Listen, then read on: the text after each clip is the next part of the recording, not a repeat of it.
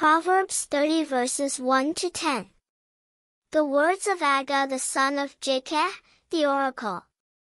The man declares to Ithiel, to Ithiel and Ucal. Surely I am more stupid than any man, and I do not have the understanding of a man. Neither have I learned wisdom, nor do I have the knowledge of the Holy One. Who has ascended into heaven and descended? Who has gathered the wind in his fists? Who has wrapped the waters in his garment? Who has established all the ends of the earth? What is his name or his son's name? Surely you know. Every word of God is tested. He is a shield to those who take refuge in him. Do not add to his words. Or he will reprove you, and you will be proved a liar.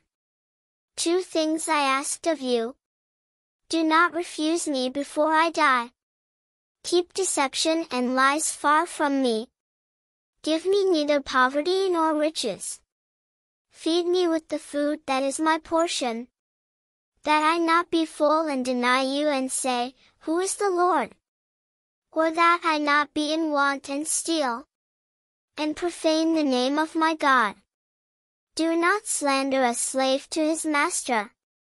Or he will curse you and you will be found guilty.